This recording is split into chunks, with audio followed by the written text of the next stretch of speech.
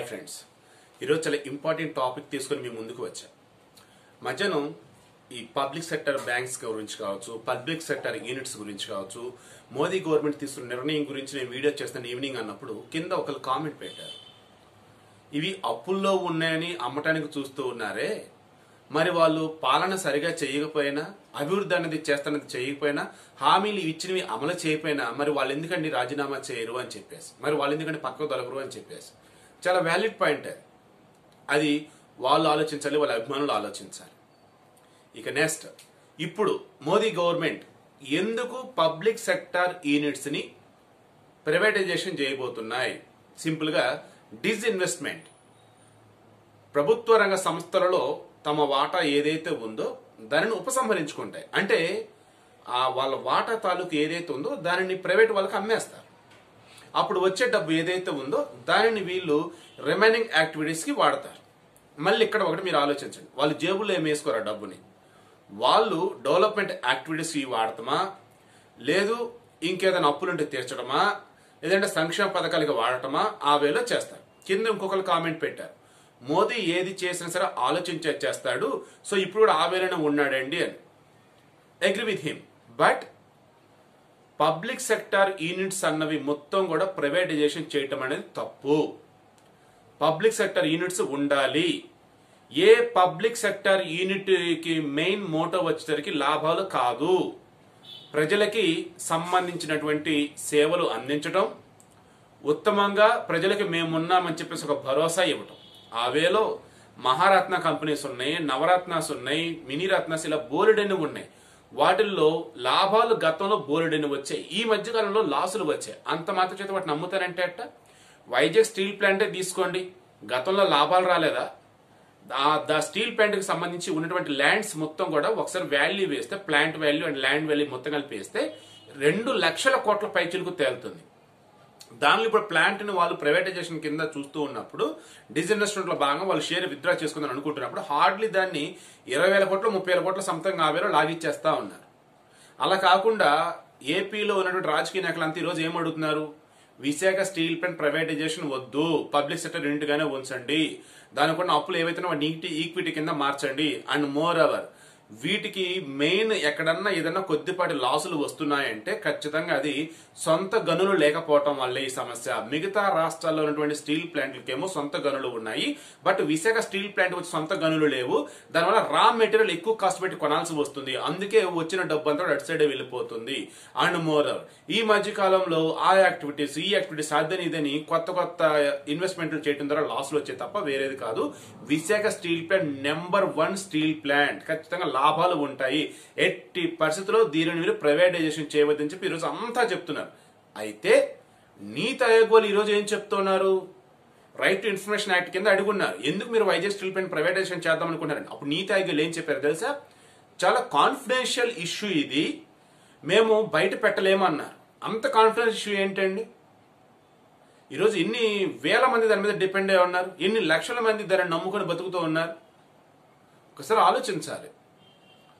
ఇప్పుడు మనం మాట్లాడుకోబోతున్న టాపిక్ వచ్చేసరికి ఏంటంటే ఈ డిజే ఈ డిజిన్వెస్ట్మెంట్లో భాగంగా ప్రభుత్వం వచ్చేసి ఎందుకు బ్యాంకులను సైతం ప్రైవేట్ పరం చేయబోతుంది అన్నది ఒకటి. అసలు పబ్లిక్ సెక్టర్ యూనిట్స్ అన్నది ప్రైవేట్ పరం అవడానికి రీజన్స్ ఏంటి అన్నది రెండు. మూడు ఈ ఇయర్లో అసలు ఎంత టార్గెట్ పెట్టుకున్నారు వీళ్ళే. మన రెండు వేల ఇరవై ఒకటి ఇరవై రెండు సంబంధించి నిర్మలా సీతారామన్ గారు బడ్జెట్ ప్రవేశపెట్టి చెప్పారు. రెండు వేల ఇరవై ఒకటి ఇరవై రెండు సంవత్సరానికి గాను మేము డిస్ఇన్వెస్ట్మెంట్లో భాగంగా లక్ష డెబ్బై ఐదు వేల కోట్ల రూపాయలు సమీకరిద్దామని చెప్పేసి మేము నిర్ణయం తీసుకున్నాము అని చెప్పేసి. అందులో భాగంగానే వీళ్ళు one by one one month steps తీసుకుంటా వెళ్తా ఉన్నారు. వైజాగ్ స్టీల్ ప్లాంట్కి సంబంధించేసి వీళ్ళు గతంలోనే ఆల్రెడీ నిర్ణయం తీసుకున్నారంటే. ఈ మధ్యకాలంలో కేబినెట్ ఆమోదిపోయింది ఇంకా వేళ ప్రొసీజర్ స్టార్ట్ చేయబోతా ఉన్నారు. అంటే మెయిన్గా ఈ డిస్ ఇన్వెస్ట్మెంట్ అన్నది ఎప్పుడైనా సరే ఎలా ఉంటుంది అంటే అండి లాసుల్లో ఉన్నటువంటి కంపెనీని ప్రైవేటైజేషన్ చేయటం ద్వారా వాళ్ళు దాన్ని డెవలప్ చేసుకుంటారు. కాంపిటేటివ్ వరల్డ్కి తగ్గట్టుగా అందులో వచ్చేసి ఎంప్లాయీస్కి ప్రభుత్వం సైడ్ నుంచి బెనిఫిట్స్ ఇస్తూ ఏవైతే ఇన్నాళ్ళు ఉన్నాయో వాటిని ఉపసంహరించుకుంటారు. తద్వారా ప్రభుత్వానికి కొంత డబ్బు అనేది వచ్చింది. ప్రైవేట్ వాళ్ళు వచ్చేసి కాంపిటేటర్గా బెస్ట్ ముందుకు పట్టుకెళ్ళిపోతారు అనే వాళ్ళు ఇన్వెస్ట్మెంట్ డిస్ఇన్వెస్ట్మెంట్ చేస్తూ ఉంటారు number one number two competitive వరల్డ్లో వీళ్ళు ముందుకు వెళ్ళలేకపోతున్నారు అన్నప్పుడు అందులోనే ఎంప్లాయీస్ సరిగా పని చేయట్లేదు అన్నప్పుడు అప్పుడు డిజిన్వెస్ట్మెంట్లో భాగంగా ముందుకెళ్తారు. ఆ వేళ బిఎస్ఎన్ఎల్ బట్ బిఎస్ఎన్ఎల్ అయితే ఇంకా నాకు తెలిసి ప్రైవేట్ వాళ్ళకి ఇంకా ఎవరికి అప్పచెప్పలేదు బట్ దానిలో ఉన్నటువంటి ఎంప్లాయస్ని విఆర్ఎస్ తీసుకోమని చెప్పున్నారు. బట్ uh, బిఎస్ఎన్ఎల్ వచ్చరికి దేశంలో అన్ని కూడా ఫోర్ జీ ఫైవ్ జీకి ముందుకెళ్తుంటే అది ఇంకా త్రీ జీ దగ్గరే ఉంది. ఫోర్ జీ ఎక్కడ ఒకటి రెండు చోట్ల వచ్చింది. అది చే చేతులారా గవర్నమెంట్ దాన్ని నాశనం చేసి పడేసారు ఇదైతే నిజం. సరే టాపిక్ ఎటు డిబేట్ అవుతూ ఉన్నా. పాయింట్కి వస్తా చూడండి సింపుల్గా ప్రభుత్వ రంగ సంస్థలని ప్రైవేట్ సంస్థలకు ఎందుకు మారుస్తున్నారు అంటే ప్రస్తుతం వీళ్ళు సంక్షేమ పథకాలు కానీ అభివృద్ధి కార్యక్రమాన్ని ముందుకు తీసుకువెళ్దామంటే ప్రభుత్వం దగ్గర డబ్బు లేదు. ప్రభుత్వం దగ్గర డబ్బు రావాలి అంటే ఒకటి ప్రభుత్వ రంగ సంస్థల నుంచి వాళ్ళకి లాభాలు రావాలి. రెండు ప్రజల మీద భారీగా పన్నులు మోపాలి. ఇప్పటికే ఉన్న ట్యాక్స్లు ఘోరంగా ఉన్నాయి. అండ్ ఈ కరోనా లాక్డౌన్లో అందరి పరిస్థితులు దారుణంగా తయారైంది సో పన్నుల భారం ప్రజల మీద మోపలేరు. Number two public sector units నుంచి భారీ మొత్తంలో లాభాలు రావటంలా వాటిలో ఇంకా ఇన్వెస్ట్మెంట్ చేయాల్సి వస్తుంది. సో ఇలా కాదు. సో ఈ పబ్లిక్ సెక్టర్ యూనిట్స్లో ఉన్నటువంటి వీళ్ళు షేర్ విత్డ్రా చేసుకుంటే అది వేరే వాళ్ళు ఇన్వెస్ట్ చేసుకుంటే ఆ వచ్చే డబ్బులు ఇది ఏదైతే ఉందో డిజ్ ఇన్వెస్ట్మెంట్లో భాగంగా వీళ్ళు షేర్ అయితే విత్డ్రా చేసుకుంటారో ఆ డబ్బులతో రిమైనింగ్ యాక్టివిటీస్ చేయొచ్చు. ఇది వాళ్ళు సింపుల్గా ప్రధానంగా చెప్పారు. అందులో భాగంగా ప్రజెంట్ బ్యాంకులకు సంబంధించేసి భారీ షేర్ ఉంది గవర్నమెంట్ది ప్రజెంట్ మనం చూస్తున్నాం కొన్ని బ్యాంకులు విలీనం జరిగాయి. అలా చేసిన తర్వాత పన్నెండు బ్యాంకులు మిగిలాయి. ఇందులో ఇప్పుడు Bank of India Indian Overseas Bank ఈ Central Bank of India Bank of Maharashtra. ఇప్పుడు ఈ బ్యాంకులకు సంబంధించి వీళ్ళు డిస్ఇన్వెస్ట్మెంట్ చేద్దాం అనుకుంటున్నారు. నాకు తెలిసి ఇందులో రెండు బ్యాంకులు వీళ్ళు ఫైనల్ చేద్దాం అనుకుంటా ఉన్నారు. ఒకేసారి పెద్ద బ్యాంకుల జోని కనుక వెళ్తే భారీ నిరసన వ్యక్తం అయ్యే అవకాశం అనేది ఉంటుంది. సో స్లోగా ఈ వెళ్ళాలి ఆఫ్ కోర్స్ వీటిలో కూడా పెద్ద బ్యాంకులు ఉన్నాయి. బట్ తప్పదు ఇంకా ఇవే వెళ్ళాలి. ఎందుకంటే ఇవి కొంచెం ఎన్పిఎల్ అని ఉంటారు నాన్ పెర్ఫార్మింగ్ అసెట్స్ ఈ ఎన్పిఎల్ రావడానికి కూడా ప్రధానంగా మూల కారణం పెద్ద పెద్ద బడా బడా పారిశ్రామికవేత్తలు. భారీగా లోన్లు తీసుకుంటారు ఎగ్గొట్టేస్తారు జంప్ అయిపోతారు. ఓ విజయ్ మాల్యా ఓ నీరవ్ మోడీ ముకుల్ చోక్సీ లైక్ ఇటువంటి బ్యాచ్ అంతా. వీళ్ళు వెనకాల ఎవరు ఉంటారు ఏంటి అంటే తెలిసిందే.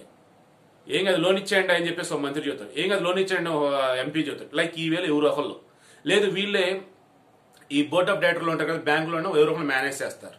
ఈ వేళ పాపం కింద ఉన్న బ్యాంక్ ఎంప్లాయీస్ ఎంతమంది ఇబ్బందులు పడుతుంటారు అంటే నాకు తెలుసు. Okay let it be. So ఈ నాన్ పర్ఫార్మింగ్ అసెట్స్ అనేవి పెరుగుతూ ఉండటం వల్ల ఆ బ్యాంకులు దివాళీ తీసే పరిస్థితికి వస్తాయి. ఒకవేళ వాటిని కనుక ప్రైవేటైజ్ గనక చేసినట్టయితే ప్రైవేట్ వాళ్ళు హ్యాండ్ ఓవర్ చేసుకుని ఏం చేస్తారంటే ఆ ఎన్పిఎల్ తాలూకు ఏవైతే ఉందో అది గవర్నమెంట్కి మొత్తం లెక్క చెప్పేసి రిమైనింగ్ సంబంధించేసి వాళ్ళు వర్క్ ఏదైతే ఉందో అవేలో చూసుకుండొచ్చు కొంతమంది. లేదు ఎన్పిఏకి సంబంధించి ఉన్నప్పుడు వాళ్ళు కొన్ని తాళ్ళు తాకట్టు పెట్టుంటారు. అది మేము చూసుకుంటాం అనే వేళ కూడా వీళ్ళు చూసుకోవచ్చు. ఇలా వాళ్ళ మ్యూచువల్ అగ్రిమెంట్ మీద బేస్ అయి ఉంటుంది. మెమోరాండం ఆఫ్ అండర్స్టాండింగ్ మీద బేస్ అయి ఉంటుంది. సో వీటిని వాళ్ళకి అప్పచెప్తే లక్షల మంది కస్టమర్లు ఉంటారు.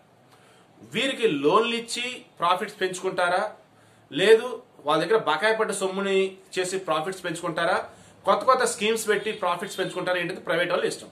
ICICI Bank Axis Bank HDFC Citi Bank ఇటువంటి నెంబర్ ఆఫ్ ఉన్నాయి ప్రైవేట్ బ్యాంకులు. అవి నాకు తెలిసి ఎక్కడ కూడా లాసులు ఉన్నట్టు కనిపించలేదు ఒకటి రెండు ఎక్కడ ఉన్నాయంటే వాళ్ళు చేసిన కొన్ని భారీ పొరపాటు వల్ల ఆ రకం తయారవుతా ఉన్నారు. సరే మీకు సింపుల్గా ఏ బ్యాంక్లో గవర్నమెంట్ అసలు ఎంతెంత షేర్ వాళ్ళది షేర్ ఉంది ఏంటని చెప్పేసి ఈ వీడియో కంక్లూడ్ చేద్దాం. ముందుగా స్టేట్ బ్యాంక్ ఆఫ్ ఇండియాలో యాభై ఆరు పాయింట్ తొమ్మిది రెండు శాతం ఉంది ప్రభుత్వానికి వాటా. తర్వాత బ్యాంక్ ఆఫ్ బరోడాలో డెబ్బై ఒకటి పాయింట్ ఆరు సున్నా శాతం. బ్యాంక్ ఆఫ్ ఇండియాలో ఎనభై తొమ్మిది పాయింట్ ఒకటి సున్నా శాతం. బ్యాంక్ ఆఫ్ మహారాష్ట్రలో తొంభై రెండు పాయింట్ నాలుగు తొమ్మిది శాతం. కెనరా బ్యాంక్లో డెబ్బై ఎనిమిది పాయింట్ ఐదు రెండు శాతం. సెంట్రల్ బ్యాంక్ ఆఫ్ ఇండియాలో తొంభై రెండు పాయింట్ మూడు తొమ్మిది శాతం. ఇండియన్ బ్యాంక్లో ఎనభై ఎనిమిది పాయింట్ సున్నారు శాతం. ఇండియన్ బ్యాంకులో వచ్చేటప్పటికి ఎనభై ఎనిమిది పాయింట్ సున్నారు. నెక్స్ట్ ఇండియన్ ఓవర్సీస్ బ్యాంక్ వచ్చేటప్పటికి తొంభై ఐదు పాయింట్ ఎనిమిది నాలుగు శాతం. పంజాబ్ నేషనల్ బ్యాంకులు వచ్చేసి ఎనభై ఐదు పాయింట్ ఐదు తొమ్మిది శాతం. పంజాబ్ అండ్ సింధు బ్యాంకులు వచ్చేసి ఎనభై మూడు పాయింట్ సున్నా ఆరు శాతం. యూనియన్ బ్యాంక్ ఆఫ్ ఇండియా వచ్చేసి ఎనభై తొమ్మిది పాయింట్ సున్నా ఏడు శాతం. యూకో బ్యాంక్ వచ్చేసి తొంభై నాలుగు పాయింట్ నాలుగు శాతం. ఆల్రెడీ ఎస్బీఐ డిస్కస్ చేసి యాభై రూపాయలు తొమ్మిది రెండు శాతం. ఇవి కాకుండా India Post Payments Bank post office ఉంది కదా దానిలో వంద శాతం వీళ్ళదే ఉంది. సో ఇక ఇప్పుడు మీకు అర్థమై ఉండాలి. వీళ్ళు వన్స్ ఇందులోంచి షేర్ కనుక మీరు విత్డ్రా చేసుకుంటూ ఉంటే డిస్ఇన్వెస్ట్మెంట్లో భాగంగా వేరే వాళ్ళు వచ్చి ఇందులో ఆ షేర్ తీసుకుంటే దాని తగ్గట్టు డబ్బు అనేది ఇస్తారు. ఆ డబ్బుని మన మీద అభివృద్ధి ఖర్చు పెడతామా? లేదైతే వేరే సంక్షేమ ఖర్చు పెడతా చేస్తూ ఉంటారు. అంటే ఎంత చెప్పాను కదా మెయిన్ వీళ్ళ మోటో ఏంటంటే వీళ్ళు ఏవైతే ఫస్ట్ స్టెప్స్ తీసుకుంటారో కొన్ని వాటి వల్ల అనుకునే రిజల్ట్స్ రావు. దాంతో ఓ రకం వాళ్ళు ఫెయిల్ అయినట్ట పాలనలో. బట్ పాలనలో ఫెయిల్ అయ్యారని చెప్పేసి రాజీనామా చేయరుగా? ప్రజలు గెలిపించారుగా నమ్మకాన్ని నిజం చేయాలిగా ఇంకో ఎఫర్ట్ పెడదాం ఇంకో ఎఫర్ట్ పెడదాం. ఇలా ఎఫర్ట్ మీద ఎఫర్ట్ పెడుతూనే ఉంటారు. మరి ఇన్ని ఎఫర్ట్ పెడుతుంటే డబ్బులు కావాలిగా? డబ్బులు ప్రింట్ కొట్టుకుంటా పోతే భయంకరమైన ఫ్లా- ఇన్ఫ్లేషన్ వస్తుంది. ద్రవోల్బణం వచ్చింది. మరో జింబాంబే మరో వెంజువేలా అండ్ మరో దేశాలు ఉంటాయి ఆ వేలో మనం వెళ్ళిపోవాలి ఓ టీకి కూడా కుప్పలు కుప్పలు డబ్బు ఇవ్వాలి. అదే పెద్ద దారుణం అసలు అది. పెద్ద టాపిక్ ద్రవోల్బణం ఆ తర్వాత ఎప్పుడైనా మాట్లాడుకుందాం. సో కన్క్లూజన్ చూడండి. ప్రభుత్వ రంగ సంస్థల నుంచి వాళ్ళ యొక్క షేర్ విత్డ్రా చేసుకుంటూ డిస్ఇన్వెస్ట్మెంట్లో భాగంగా వారి యొక్క పెట్టుబడి ఉపసంహరణ అంటారు తెలుగులో. అలా చేసుకుంటే దాని మెయిన్ ఉద్దేశం ప్రభుత్వం దగ్గర డబ్బులు లేకపోవటం ఈ సంస్థలను నడిపేందుకు వాళ్ళ ఎఫర్ట్స్ పెట్టలేకపోతున్నామని చెప్పేసి ఒప్పుకొని వేరే వాళ్ళకి అసైన్ చేస్తారు. ఇక వేరే వాళ్ళు కొనుక్కొని వాళ్ళు నడిపించుకుంటారు. బట్ ఈ మధ్య కొన్ని చూస్తూ ఉంటే ప్రభుత్వం కరెక్ట్గా ఎఫర్ట్ కనుక పెడితే వాడిని బ్రహ్మాండంగా లాభాల బాట తీసుకువెళ్ళచ్చు బట్ అవి ఎందుకు ఎఫర్ట్ పెట్టలేదు అర్థం కావట్లేదు అందులో ఒక విశాఖ స్టీల్ ప్లాంట్ కావచ్చు ఒక బిఎస్ఎన్ఎల్ కావచ్చు ఎయిర్ ఇండియా కావచ్చు నెంబర్ ఆఫ్ని. కానీ ఎఫర్ట్ పెడతల్లా. ఎక్కడ ఏంటి అంటే ఓ అంబానీకి తెలియాలి ఓ అదానీకి తెలియాలి మంత్రులకు తెలియాలి. సో కన్క్లూజన్ కొంతమంది అన్నట్టుగా మోదీ నిర్ణయాలు బాగానే ఉంటాయి. బట్ అవి ఎదురు తిరిగినప్పుడు మాత్రం ఆటోమేటిక్గా ఇదిగో ఇటువంటి డిజిన్వెస్ట్మెంట్ భాగంగా డబ్బులు సమకూర్చుకోవాల్సి ఉంటుంది నెంబర్ వన్ నెంబర్ టూ ప్రభుత్వ రంగ సంస్థలో పనిచేసే వాళ్ళు ఈ కార్పొరేట్ సంస్థలో పనిచేసే ధీటుగా వాళ్ళు కానీ కాంపిటేటివ్ వరల్డ్లో ఉన్నట్టుగా కనుక పని చేయకపోతే అప్పుడు డిజిన్వెస్ట్మెంట్ భాగంగా ప్రభుత్వం డబ్బులు వెనక్కి తీసుకుంటుంది. నెంబర్ టూ నెంబర్ త్రీ లాసులు వస్తూ ఉన్నాయి. ఎన్నిసార్లు ఇన్వెస్ట్మెంట్ పెట్టినా సరే ఇంకా లాసులు వస్తూ ఉన్నాయి. ఇక తప్పదురా బాబు అమ్మేయాలరా బాబు అనుకున్నప్పుడు అమ్మేస్తారు అది Air India best example so అది. ఇక నెక్స్ట్ మరికొన్ని కొంతమంది కార్పొరేట్ అనుకూలంగా నిర్ణయాలు తీసుకుంటున్నారో లేదంటే ప్రభుత్వాలే మంచి కొన్ని నిర్ణయాలు తీసుకుంటున్నారో వాళ్ళకే తెలియాలి. ప్రస్తుతం బ్యాంకులకు సంబంధించి అయితే I'm sure public sector banks ఖచ్చితంగా ఉండి తీరాలి. అదే పబ్లిక్ సెక్టర్ యూనిట్స్ కూడా ఖచ్చితంగా ఉండి తీరాలి. బట్ వీళ్ళేదంటే ఆ సంఖ్యను తగ్గించుకుంటా పోతా ఉన్నారు. నాకు తెలిసి అనుకున్నంత దారుణంగా అయితే సిచ్యువేషన్ అయితే ఉండదు. బట్ ఏ మాటకు ఆ మాట ఓ రకంగా వీళ్ళు వెస్టర్నైజేషన్ మోడల్లో వెళ్తున్నారో లేదంటే వీళ్ళకి ఎవరో కానీ సలహాలు ఇచ్చేవాళ్ళు ఎక్కడో ఏదో వేరే దేశాన్ని ఎగ్జాంపుల్గా తీసుకుని ఆ వేలు వెళ్తున్నాం బట్ మన దేశంలో పబ్లిక్ సెక్టర్ యూనిట్స్ బలంగా ఉండాలి పబ్లిక్ సెక్టర్ బ్యాంక్స్ బలంగా ఉండాలి.